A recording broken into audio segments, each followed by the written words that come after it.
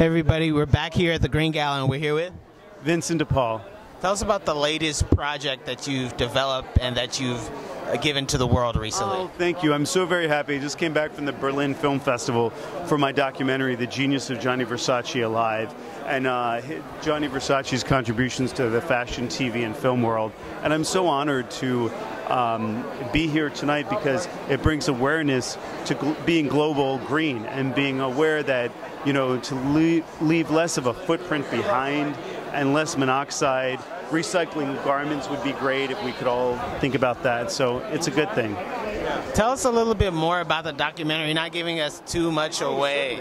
So the Genius of Gianni Versace are rare interviews with the Versace models, uh, the Versace people that knew Gianni Versace and how wonderful he was to all of us, and how he supported the careers of so many people and supported musicians like Bon Jovi, like Elton John, like Tina Turner, and dress them.